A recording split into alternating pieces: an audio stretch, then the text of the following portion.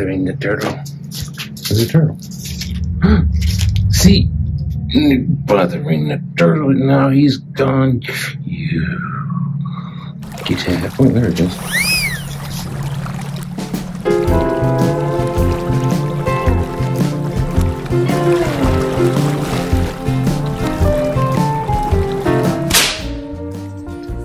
How's it? Hang loose. Welcome to Mongoose Max Hawaii. The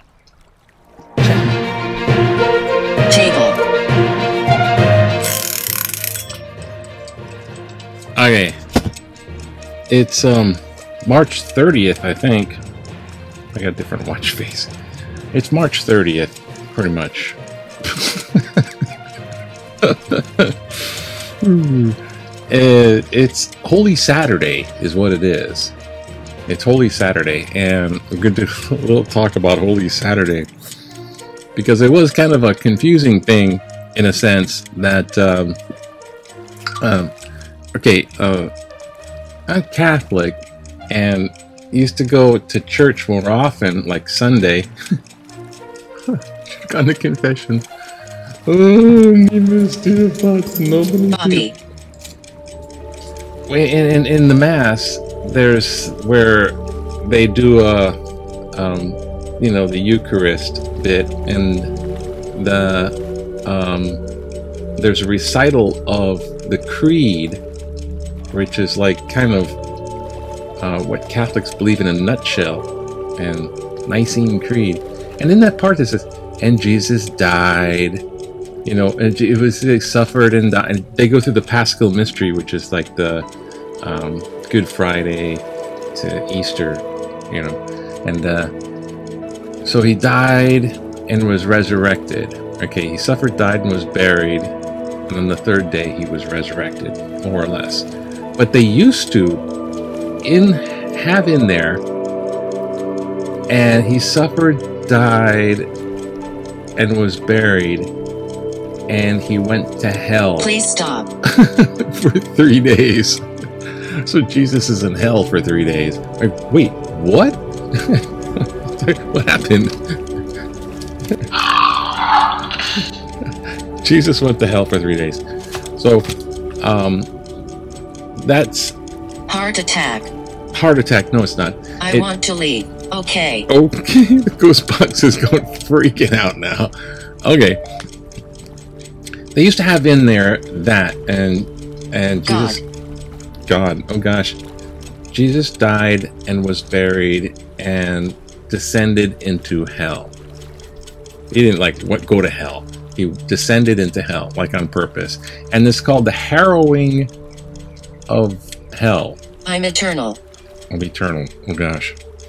Okay, let me give me this Disgusting. disgusting. Let me get some. this is getting worse.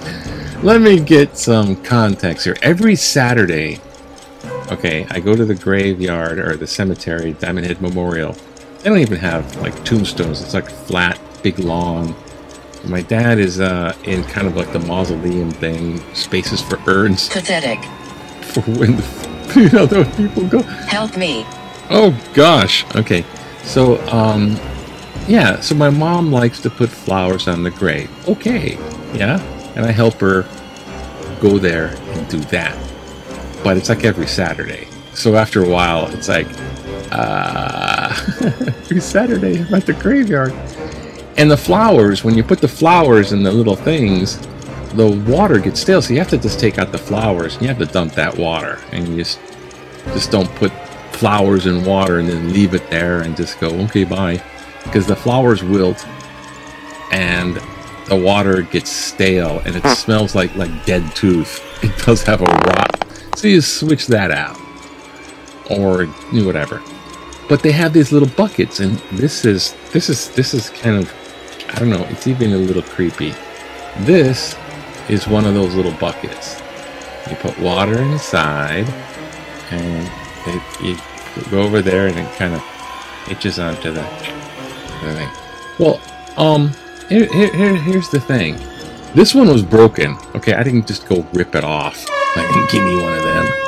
It was broken, and so like they gotta throw this out because it can't hang on anything now. but I just wanted to show. This is the the bucket, the flowers, and it has that kind of, um, it has that kind of, uh, you know, life is short, you know, uh, mortis mo- memento, you know, remember death because life is short. And Lent starts off with, you know, uh, ashes to ashes, dust to dust, and now it has this Rest in Jesus peace. goes to hell. What's the connection? Well, um, hell in the ancient, uh, well, not ancient. Oh God. In Hebrew tradition and belief, it was kind of you're alive, and if you're in God's favor, life is good. If something's going wrong in your life, you're not right with God. That was the idea. That's where you get the story of Job. they were like, You must have did something wrong. see, the story of Job, I don't know, it could be a story more than, you know, history.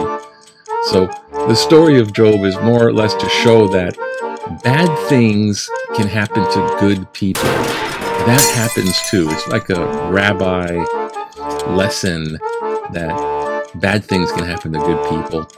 Keep the faith. You know, kind of like that.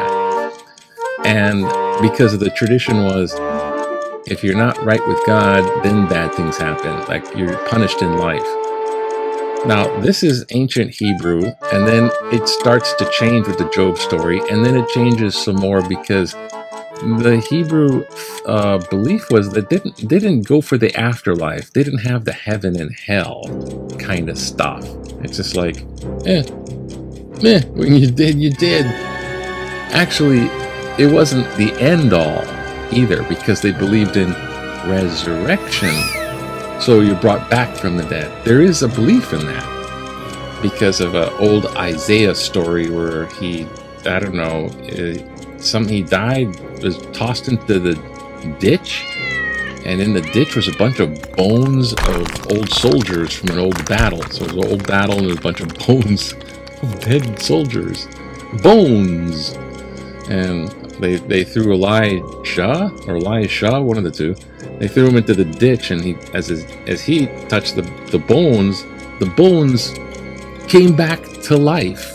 I'm I mean I'm not sure exactly, you know, all the way, or they were just skeleton army. I'm not sure, but it's a it's a story of resurrection and um, the power of God to Please go. bring people back from the dead. The Jewish people did believe half the resurrection, and then half of them believed it, and half of them didn't. And you had the Sadducees and the Pharisees and stuff like that. Okay, so there's not wasn't really a heaven and hell thing, though. You know, um, they were just waiting for the end day with resurrection. Everyone just gets brought back to life, and it's all good. Is this getting long? No. so, Soul or Sheol was where people go after they die. Psychic. So Hades and Sheol, depending on the language, is the place of the dead, like necropolis for ancient Greeks. So people die and they their spirits or whatever their essence was in Sheol or uh, Hades, which is translated nowadays to hell. this, is like uh, it. Hell was just a place where dead people went, and the there was a place of punishment, Gehenna. So there's the damned go to Gehenna. It's burning fire, Gehenna, watch out. But hell was like just, you know, people that are dead or Sheol. Depending on the translation, Sheol, Hades, hell, that's where dead people go. And Gehenna was the damned thing. There was that. And by that time, because it kind of time. Okay, and so uh, there was a interesting theological um, uh, road bump where okay, Jesus comes into the picture, renews the covenant, so people can be forgiven and be a part of God and God's kingdom because it reverses the fall from the Garden of Eden and Adam and Eve and the fall where death and suffering yeah, it reverses all of that. So Jesus is the new Adam, and uh, he, he can go be connected to God's kingdom all over again just by believing in Jesus, and He suffered for us, so we don't have to. So that's a good deal. So there's this new covenant of love instead of the law. And so this new covenant is in place, and wow, lucky Jesus came by and suffered for us and did all that. We should be grateful for that, yeah. And he did that 2,000 years ago, about the year 33, I don't know. 33 AD. But here's the rub. What about everybody before that? What about before Jesus was there? So everyone didn't have the saving grace because when you're alive, you can choose to believe, but when you're dead, you know, game over. So you can't choose to pray, choose to believe because you're, you know, the dead. it's like, you have too much time to do that. So, uh, what about the people who died? There could should have been righteous people, people deserving of heaven um, before Jesus came along. What about before? So, Jesus goes back down to Hades or hell, go around sifting out through the dead for the righteous ones. Oh, see, because they had some big players like Elijah. Oh, oh no, he was he went to heaven, like Moses or something like that, right?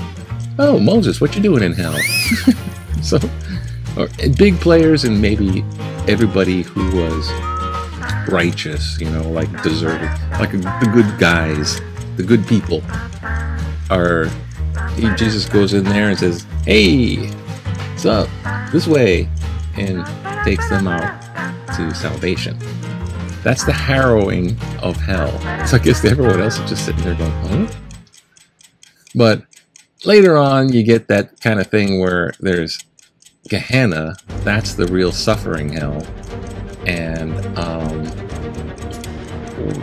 Sheol, Sheol, and Hades, where people go, or just the dead people go. That turns into kind of purgatory.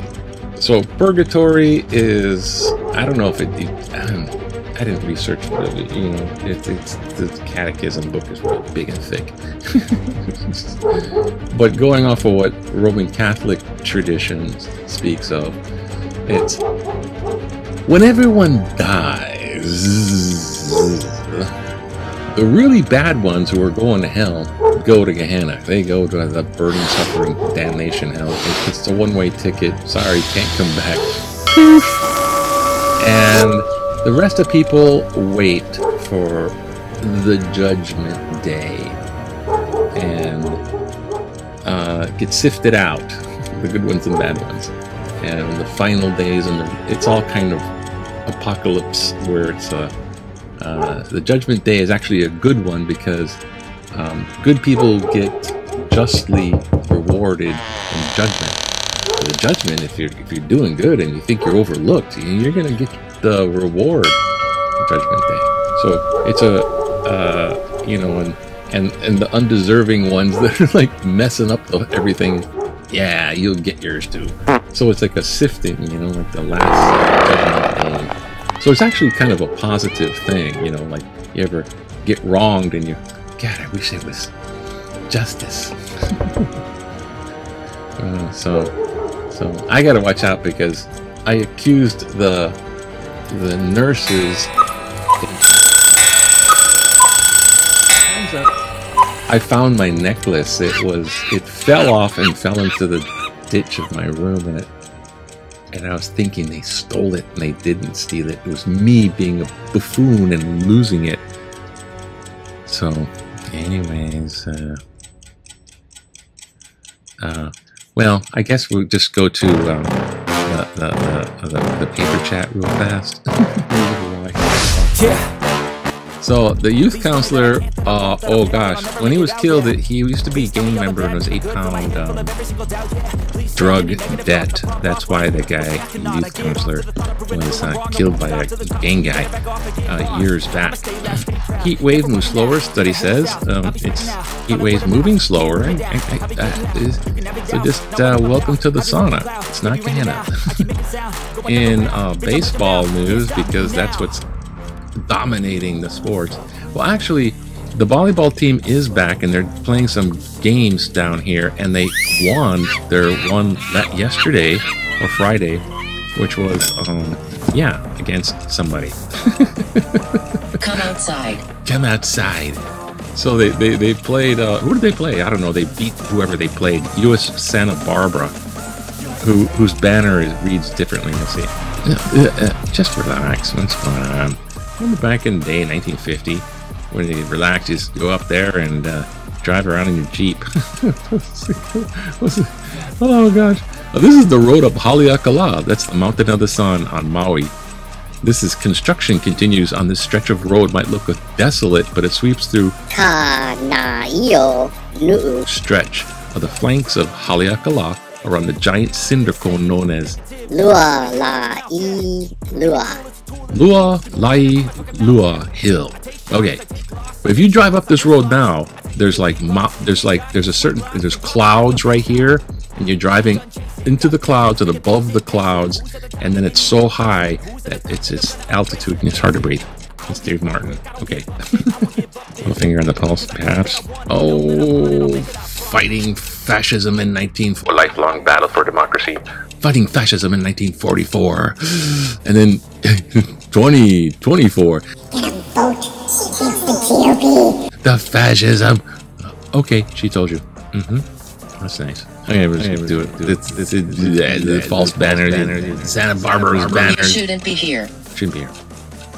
Police need to put a stop to dangerous moped antics. We live off Waialae and Koko Head Avenues in Kaimuki at least once a night during the week and multiple times on the weekends. We hear racing of mopeds up and down Waialae Avenue. What is it gonna take for the police to stop them? I've been in a crosswalk as they race through, and I've seen them run red lights and stop signs doing wheelies. This is dangerous, and people may fear that chasing them could harm the public at large. But because the police refuse to do anything, the groups are getting larger and more brazen. It is time for the police to step up, get a task force, and get these people off our roads before we, the public, get hurt. Christine Petrov. I Kami- don't know. Kaimuki talking in tutu voice. Thank you, Kristen. That's nice of you talking in tutu voice. That's just really cool. I mean, that's just like the thing to do. I've been talking in Uncle voice.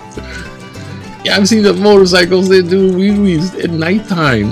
I drive to the Strix Fair on Sunday. This is right by Ala Moana shopping center. Big, many lanes. And then there's a guy, and it's curvy too. And it's multiple lanes. And just running down with a, on a wheelie on one wheel. It's like like dirt bike kind of stuff. Anyways.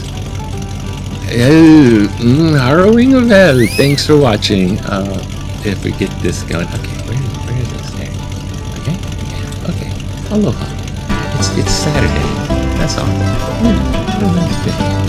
Okay, that's nice. Look at that. It's, uh, it's getting better. It's uh, nice now, I guess.